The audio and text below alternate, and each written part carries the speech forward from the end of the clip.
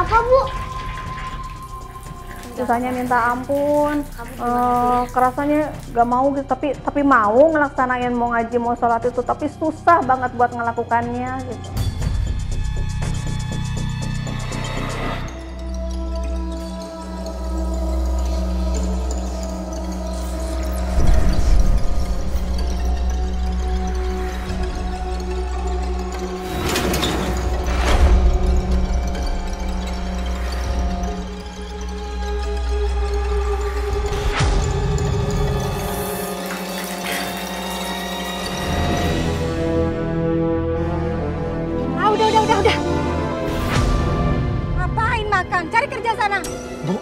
ibu nggak boleh begitu sama suami. Ini makan juga belum selesai. Nggak ada makan, Pak. Bapak nggak tahu apa, warung kita tuh lagi sepi. Nggak ada satupun pembeli, Pak. Kalau begini terus, bisa bangkrut, Pak. Bangkrut. Bu, ya namanya juga usaha, Bu. Kadang ada rame, ada sepi. Ya harus sabar. Kalau kayak gini caranya ya, ibu tuh nyesel Pak nikah sama Bapak. Dipikir ibu bakal hidup enak. Ibu nggak kerja, di rumah. Kenyataannya apa? Bapak itu santai-santai mal-malesan, sedangkan ibu bekerja.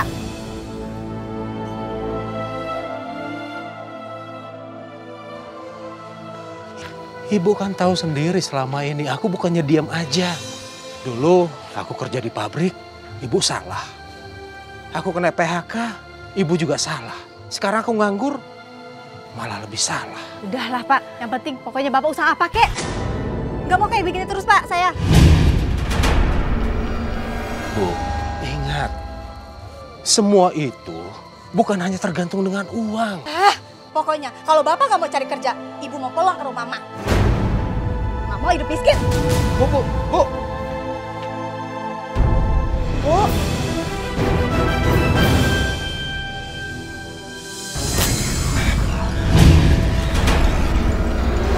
Boleh sayang. Tapi jangan jauh-jauh ya.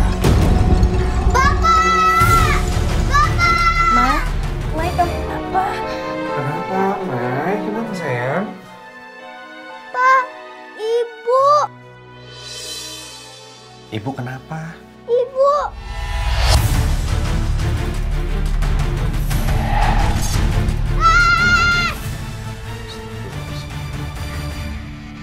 Sumi kenapa sih? gak tahu pak Ada apa ya dengan Mai? Jangan-jangan ini pengaruh sosok penglaris itu lagi. Pak, Bapak. Uh, si Bapak ini ke mana sih? Ah! Ah! Ah! Eh.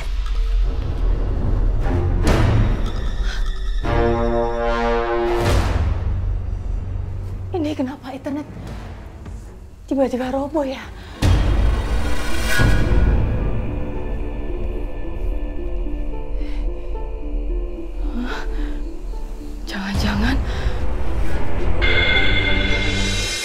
Ya udah, Kang Rudi kalau gitu saya pamit pulang dulu ya. Indah. Terima kasih banyak ya Kang Daus. Untung aja tadi Kang Daus lewat. iya, sama-sama Kang Rudi. Sama-sama. sini ah. Bu, bu, bu, apa-apaan sih? Bapak ini kebangetan banget sih. Bukannya bantu ibu beresin warung, malah di sini ngapain coba? Iya, ini juga Bapak mau pulang kok. Oh, jangan-jangan Bapak di sini kepelet juga sama si Indah iya?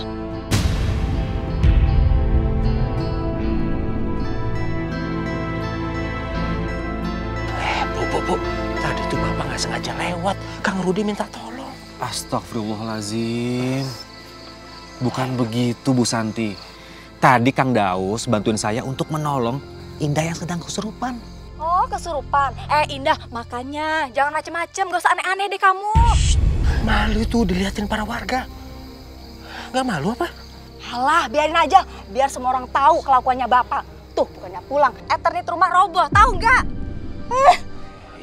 Iya, ayo pulang. ya udah, ayo pulang. Eh, Eh, Kang Rudi, Indah, kami permisi. udah, gak usah pamitan, ayo pulang. Terima kasih Kang Daus. Iya, Assalamualaikum. Waalaikumsalam.